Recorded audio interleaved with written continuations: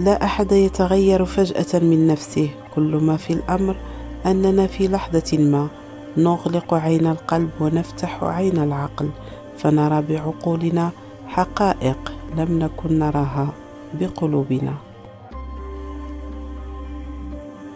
القلوب الطيبة كالذهب لا تصدأ أبدا حتى لو أنهكها التعب.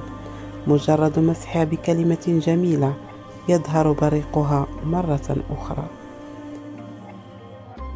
لا تندم على نية صادقة منحتها ذات يوم لأحد لم يقدرها بل افتخر أنك كنت وما زلت إنسانا يحمل قلبا طيبا بين أناس لا يفقهون.